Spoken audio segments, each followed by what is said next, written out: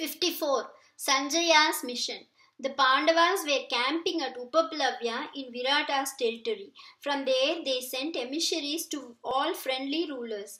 Contingents arrived from all parts of the country, and soon the Pandavas had a mighty force of seven divisions.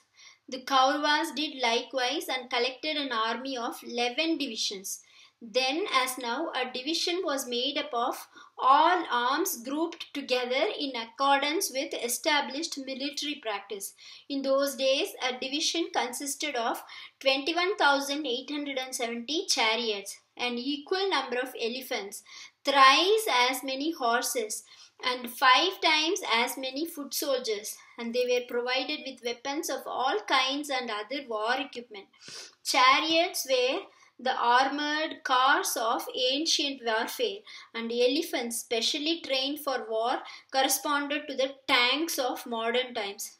Drupada's Brahmana messenger reached Dhritarashtra's court. After the usual ceremonial introduction and inquiries were over, the messenger addressed the assembly gathering on behalf of the Pandavas. Law is eternal and of inherent validity. You know this, and I need not point it out to you.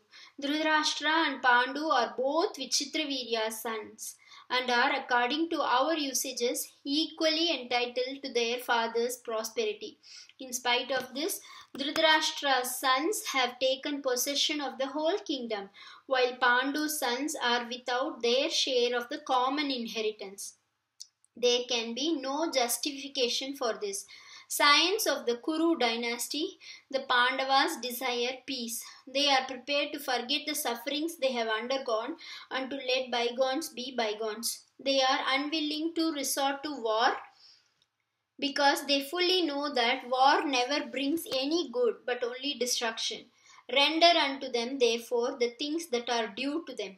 This would be in accordance both with justice and with the agreement previously reached. Let there be no delay.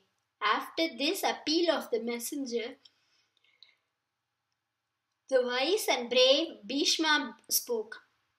By the grace of God, he said, the Pandavas are safe and well. Although they have obtained the support of many princes and are strong enough for battle, they are not bent on war. They still seek peace. To restore to them their property is the only right thing to do. Bhishma had not finished when Karna angrily broke in and turning to the messenger exclaimed, O Brahmana, is there anything new in what you have said? What tortures you? Uh, what tortures it to tell the same old story? How can Yudhishthira claim the property that he lost at the game board? If now Yudhishthira wants anything, he must beg for it as a gift. He arrogantly prefers this absurd claim in fond reliance on the strength of his allies, particularly Matsya and Panchala. Let me tell you clearly that Nothing can be got out of Duryodhana by threats. As the plighted word that the Pandavas should live undiscovered during the thirteenth year has been broken, they must once again go back to the forest for another twelve years and return thereafter. Bhishma interposed, Son of Radha, you speak foolishly.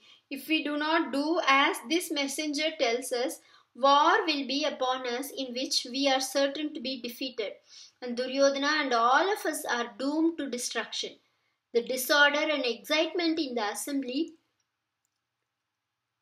made Dhritarashtra intervene. He said to the messenger, Having in mind the good of the world and considering the Pandavas' welfare, I have decided to send Sanjaya to them. Please return at once and tell Yudhishthira this. Dhritarashtra called Sanjaya aside and instructed him thus Sanjaya, go to the sons of the Pandu and convey to them my affectionate regards and my kind inquiries about Krishna, Satyaki, and Virata. Give all the princes assembled there my regards. Go there on my behalf and speak conciliatingly so as to secure the avoidance of war. Sanjaya went to Yudhishthira on this mission of peace. After the introductory salutation, Sanjaya thus addressed Yudhishthira in the midst of his court. Dharmaputra, it is my good fortune to be able to see you again with my eyes. Surrounded by princes, you present the picture of Indra himself. The sight gladdens my heart. King Dhritarashtra sends you his best wishes and desires to know that you are well and happy. The son of Ambika, Dhritarashtra detests all talks of war. He desires your friendship and yearns for peace. When Dharmaputra heard Sanjaya say this, he felt glad and answered, If so, Dhritarashtra's sons have been saved. Nay, we have all escaped a great tragedy. I too desire only peace and hate war. If our kingdom is returned to us, we will wipe out all memories of the sufferings we have undergone. Sanjaya spoke again. Dhritarashtra's sons are uh, perverse disregarding their father's advice and their grandsire's wise words, they are still as wicked as ever. But you should not lose patience. Yudhishthira, you stand ever for right conduct. Let us eschew the great evil of war. Can happiness be gained with possessions obtained through war? What good can we reap from a kingdom won after killing our own relatives?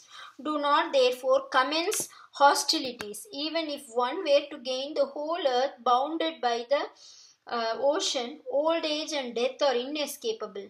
Duryodhana and his brothers are fools, but that is no reason why you should swerve from rectitude or lose patience. Even if they do not give back your kingdom, you should not abandon the supreme path of Dharma. Yudhishthira answered, Sanjaya, what you say is true. Rectitude is the best of possessions. But are we committing wrong? Krishna knows the intricacies of rectitude and dharma. He wishes both sides well. I shall do as Vasudeva orders. Krishna said, I desire the welfare of the Pandavas. I desire also that Dhritarashtra and his sons should be happy. This is a difficult matter. I think I can settle this issue by myself going to Hastinapura. If I if I could obtain peace from the Kauravas on terms that do not conflict with the welfare of all, nothing would make me and the Pandavas happier. If I succeed in doing so, the Kauravas will have been rescued from the jaws of death. I shall also have achieved something good and worthwhile. Even if through a peaceful settlement the Pandavas get back what is due to them, they will still serve Dhritarashtra loyally. They desire nothing else but they are also prepared for war if need be. Of these two alternatives, peace and war, Dhritarashtra can choose what he pleases. And Yudhishthira said to Sanjaya, Sanjaya, go back to the Kaurava court and tell the son of Ambika this from me. Was it not through your generosity that we obtained a share of the kingdom when we were young? You who made me a king once should not deny us our share now and drive us to make a beggar's living on the charity of others. Dear uncle, there is enough room in the world for both of us and the Kauravas. Let there be no antagonism therefore between us. Thus should you request Dhritarashtra on my behalf. Give the grandsire my love and regards and ask him to devise some way of ensuring that his grandchildren live happily in amity. Convey the same message to Vidura also. Vidura is the person who can best see what is good for all of us and advise accordingly. Explain matters to Duryodhana and tell him on my behalf. My dear brother, you made us who were princes of the realm, live in the forest clad in skins. You insulted and harassed our weeping wife in the assembly of princes. We bore all this patiently. Give us back, at least now, what is lawfully ours. Do not covet what belongs to others. We are five. For the five of us, give us at least five villages and make peace with us. We shall be content. Say thus to Duryodhana Sanjaya, I am prepared and ready for peace as well as for war. After Yudhishthira had said these words, Sanjaya took leave of Keshava and the Pandavas and went back to Hastinapura.